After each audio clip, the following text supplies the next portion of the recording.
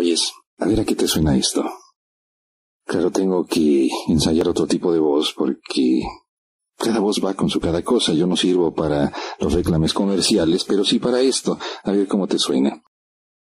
A continuación presentamos a ustedes el sentido poema sinfónico en cuatro movimientos. Contextualízate, cariño. Del autor Coyolzauqui Pérez. No lo hago tan mal. O si crees que presento muy mal obras clásicas, Claro que ese poema sinfónico no existe, pero deberíamos inventarlo. Más bien tú, porque yo de música muy poco sé. Contextualízate, cariño. ¿Qué tan contextualizados estaremos tú y yo? En alguna ocasión te, te he dicho que el lenguaje partió de elementos muy simples hacia las complejidades y abstracciones más notables. Primero te platico un poco de la sexación de actividades. Yo no sé quién ha ido, quién ha ido sexando determinadas actividades. Esto es, el otro día tomo el avión y de pronto resulta que el piloto no es piloto, sino que es pilota. Y eso que te sorprende. No estás muy acostumbrado a que al frente de esos aparatos volátiles y voladores vaya una mujer. Pero tú llegas a la conclusión de que si está ahí es porque sabe hacer las cosas, te cuesta trabajo, claro, el machismo se opone, ese machismo atávico y ancestral que ni tú ni yo lo inventamos, pero como pesa y como, como punza. La pilota, muy amable, claro, con esa vocación paralela que todos los pilotos tienen, que es la de ser locutores, de pronto empieza a dar las informaciones eh, más eh, intrascendentes sobre las eh, características del vuelo, que nada quitan ni nada ponen, pero como todo piloto, es un locutor, la pilota aquella no iba a ser de ninguna manera la excepción. Pero esta es la sexación de actividades. ¿Te imaginas a los grandes chefs de cocina? Claro, son hombres, pero la que cocina en la casa es la mujer. ¿Por qué?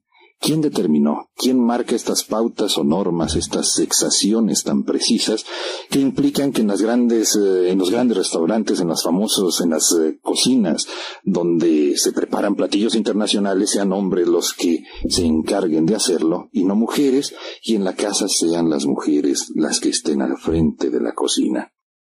Esto es el fenómeno de la sexación. Pero al que voy ahora es al más notable porque a mí me llamó la atención ver en algún país europeo, en un parque público de conocido país del primer mundo, así hay que decir las cosas en términos velados, en una banca estaban un par de señores, también trajeados, como no te imaginas, y tejiendo. ¿No te parece una aberración? ¿Tú sabes tejer?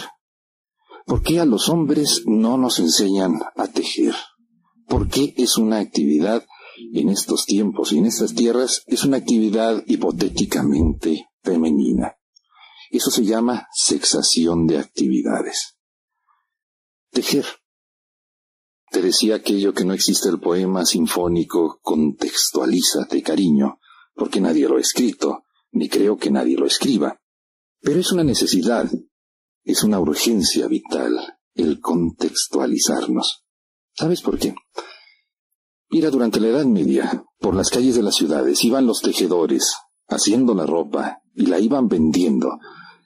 Y eran hombres precisamente, porque no había máquinas de coser, porque la ropa ahora es muy fácil hacerla, cortar eh, quién sabe cuántos patrones y hacer pantalones y sacos y blusas en serie, pero antes era una actividad totalmente manual.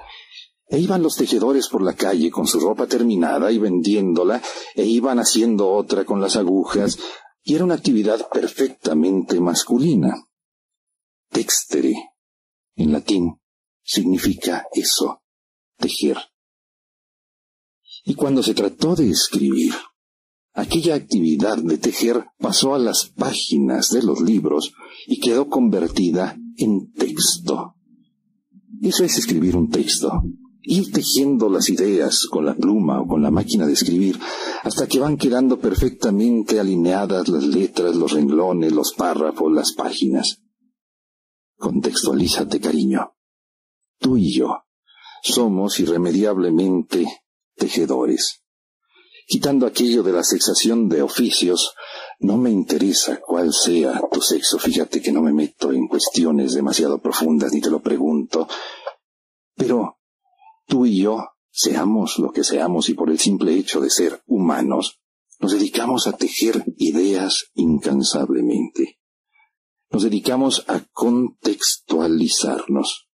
Vivimos haciendo eso incluso en sueños. Mi maestro Martí solía hacer referencia al tejedor de sueños que todos somos, porque vivimos tejiendo hipótesis, pero vivimos haciendo textos y pretextos. ¿Qué tan bueno eres tú para los pretextos? Se te facilitan. Ya mi amigo Abelardo dice que cuando sus hijos comienzan con los esques, es que ya la cosa no va bien. Tú le preguntas a cualquiera, ¿y por qué llegaste tarde? Es que, es que, es que. Malo, malo cuando comenzamos con los esques, porque es la forma más ordinaria de comenzar con los pretextos.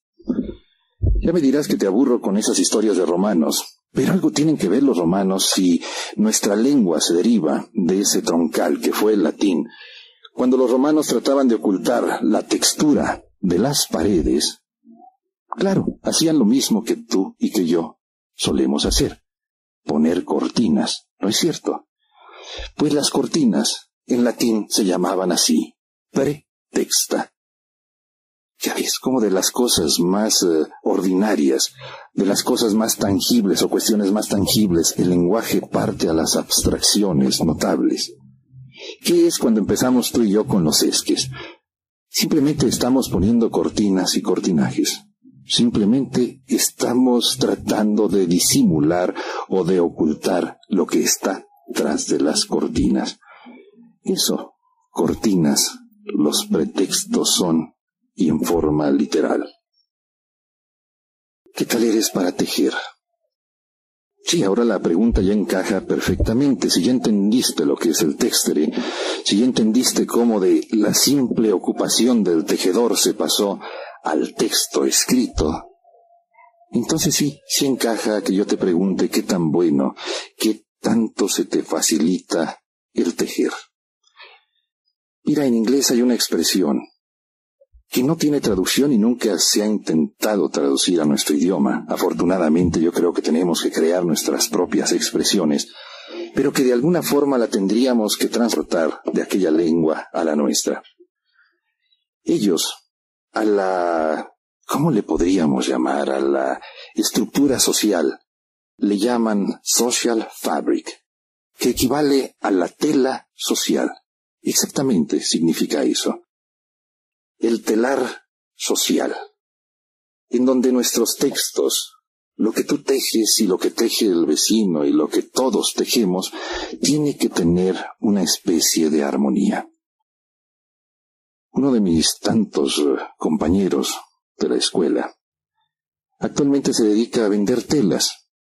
No sé, él tenía ciertas cualidades, eh, cierta eh, notable facilidad estética o armonía para ir entrelazando hilitos de colores y por allá en Puebla tiene su fábrica de telares y vende el metro a no sé cuántos pesos que ni me interesa porque siento una especie de repelús cuando me entero de la lista de precios de estas telas que teje mi amigo. Pero se cotizan muy bien, se venden muy bien porque tienen una armonía exquisita. Eso dicen los que saben, porque no creas que yo tengo una gran facilidad para la plástica, pero gustan las telas que teje mi amigo, el güero lazo y ya le estoy haciendo yo un poco de promoción. Pero eso es justamente la composición social de un país o la contextura social que diferencia a un país desarrollado de otro que no lo es. La armonía del tejido. ¿Tú has visto lo complicado que son los telares primitivos? el estar lanzando el uso de un lado a otro, pasando los usos para ir formando líneas y más líneas, para ir dándole armonía a los tejidos, manejando no sé qué tantos pedales, y de aquí para allá es una cosa complicadísima aquellos telares primitivos. Pues un poco tiene que ver la contextualización con la armonía social. Es aquello que te decía de la expresión inglesa, tela social. Se va tejiendo, se van tejiendo los elementos hasta darle una forma armónica, una continuidad. Si tocáis en la cuenta que apenas el siglo pasado se inventó la máquina de coser, y apenas el siglo pasado también se domesticó el vapor y se le puso a trabajar tejiendo ropa o haciendo telas. Ese fue uno de los grandes saltos en la revolución industrial que se registró en el siglo XIX, cuando mediante el vapor se puso a los telares a trabajar para formar eh, grandes extensiones, claro está, de tejidos. Y tú podrás ver todavía las reminiscencias aquí en los alrededores de Guadalajara, lo que fue las fábricas de, tejidos de Atemajac, lo que fue allá en el Salto de Juanacatlán, que fue la domesticación del vapor para evitar la heroica labor humana de tejer y coser. Y eso nos lo pasamos haciendo nosotros, tejiendo ideas, textere, haciendo textos, que originalmente fue la expresión latina para designar una actividad meramente manual, tejer, y que derivó a los libros, y que derivó a una actividad profundamente inherente a lo que somos. Tejedores de sueños, de esperanzas, tejedores que vamos contextualizándonos. Y del siglo pasado también, las costureras era una una especie de clase social que se ganaban la vida yendo de casa en casa a hacer la ropa ajena. Con el invento de la máquina de coser se simplificó también la actividad de las costureras, vino la producción en masa, pero a lo que voy es a esto. Los medios de comunicación como tejedores de la enorme tela social, de la enorme contextura social.